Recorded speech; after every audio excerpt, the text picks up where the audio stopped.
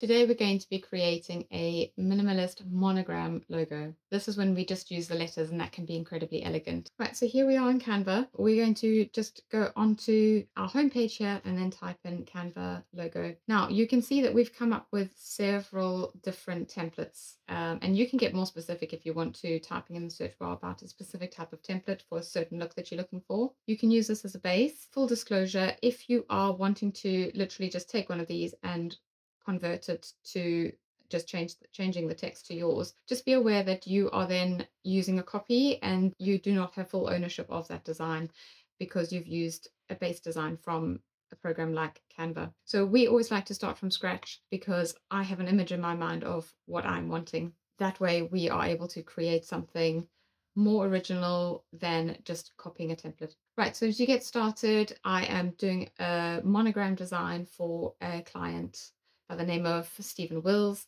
And so I'm going to go into here. Here you can see you've got your template options again. You've got your styles that you can search under.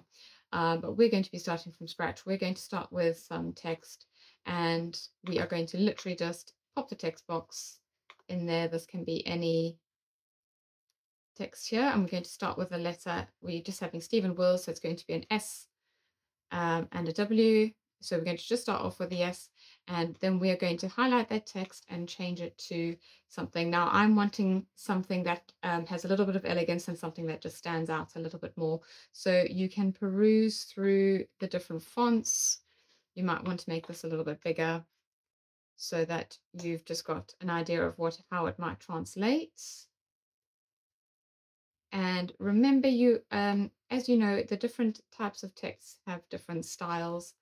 Um, so that's quite interesting. I like the fact that it's got different line thicknesses there. So let's try it with that. We're going to do a Cinzel decorative. So I'm just going to copy it. This is a duplicate button here. I'm going to duplicate that.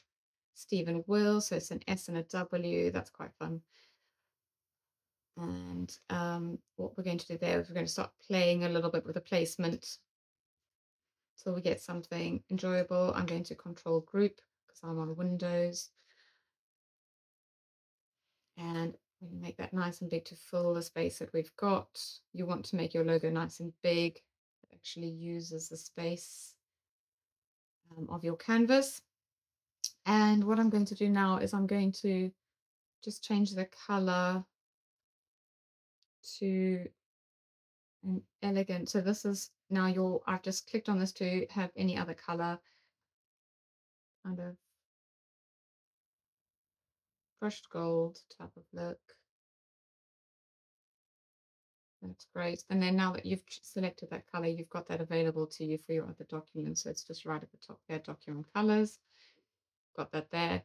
And then what we're going to do is we're going to add in a rectangle through the middle. Add in some text in there. And we're going to just have his name. I'm going to have it in all caps. Stephen Wills. I think to me, he's sounding like an investment banker, gone entrepreneur, or know, state agent. But this could work for anything. It's very, very elegant. So then you want to come across here to your spacing. You've got your letter spacing. So we're just going to pull that nice and wide. What's there? Stretch this out. I wanted to go across the letters. Now I want to just get it just, oh make sure that that is centered. That.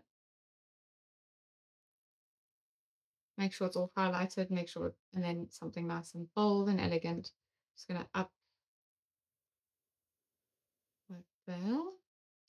I want the font color to be the same color as the main text.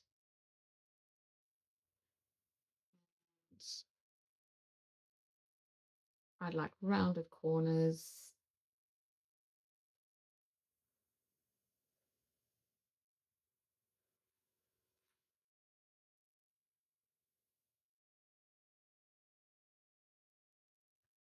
Quite like that, just inside of the uh, just inside of the S, and then we're going to ungroup. I'm going to just shift this position of the W in slightly so that we have that lift. Looks better.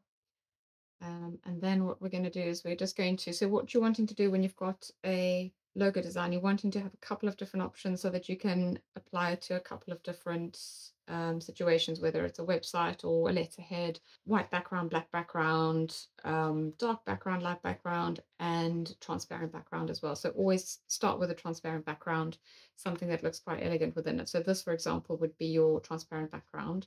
What I'm going to do now is I'm going to duplicate that page and the actual official colors that I would like. I'm just going to add a background color here. Here's your background color. And I'm wanting something that's going to throw up that um, gold quite nicely. So I'm going to look for a sort of silvery blue color.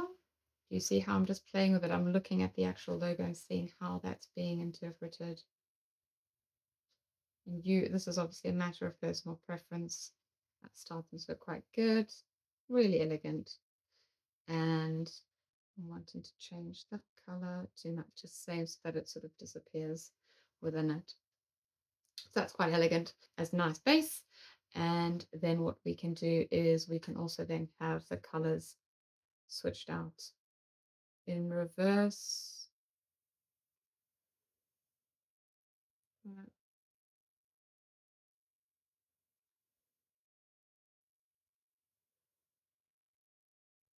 That's quite nice actually, either like that, um, or you can reverse those as well. And then um, just as a final flourish, what we can do is just add a little bit of, what I'm going to do is I'm just going to create a shadow. Now there are effects that you can create these shadows in. And I'll show you what those look like in a moment. But what I'm going to do now is I'm going to use my gold and I'm going to just find something that's a little darker much darker. And then you position and send backward. So it creates a shadow. Got the color already. To the back. Mm. And then what I'll show you here is how you can create a, what we can do here is just do exactly the same thing. Color. There position like that. Just adjust that slightly. And then I want to bring that forward in front of the W. So that's got that. Um, so that just gives a little bit of depth. And then within the elements, what we can do is just creates a little bit of a shimmer or a shine so that it creates more of that metallic effect. So we go into the graphics, we can see all, and this is quite a nice shine over here. So we're going to start with it.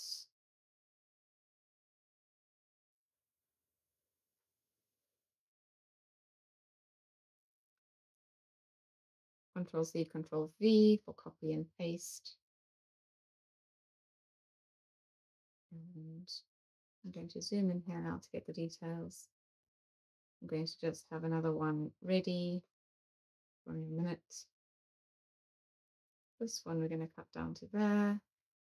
As you can see, this is a really quick job. If you want something done properly, you would like to probably use something like Photoshop and creating from scratch, but this will do the job for something really quick and elegant. And obviously um, your base that we had a second ago is also just absolutely fine.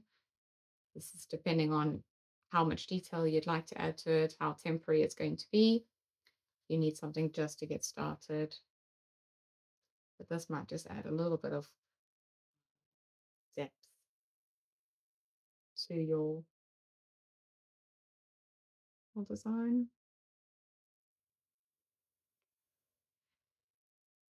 Okay, and then that is now, that's a little harsh. So what I'm going to do next is just reduce the opacity.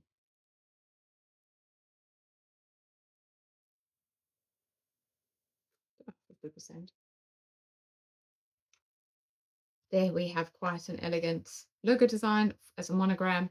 And um, what we can do now is we can duplicate that and um, we can delete background so that we've got um, how it might look on just a simple um, letterhead or a background, and we'll download that with a transparent background so that that can be applied to just about anything.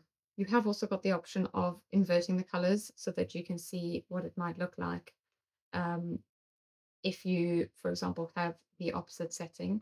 So that means that this would be gold, that would be blue. Okay, so that's um, that's the opposite of what it might look like. And then you've just got a couple of different variations of your monogram logo. Okay, when you come to downloading it, so we're going to go down here, click download. If you haven't got the Canva premium yet, go onto the PNG, that works, that works fine too. And then you can then just download all the pages or whichever ones you want um, and download them like that so that you've got your three different options. So there we have it. We've got a beautiful, elegant monogram design done in less than 15 minutes, and you've got three different versions of it that can be used across multiple platforms. So we'll be doing another um, logo next week for new business owners that can use Canva to create a fantastic business logo that looks professional and elegant. And it also has your own stamp on it. See you next week. Bye.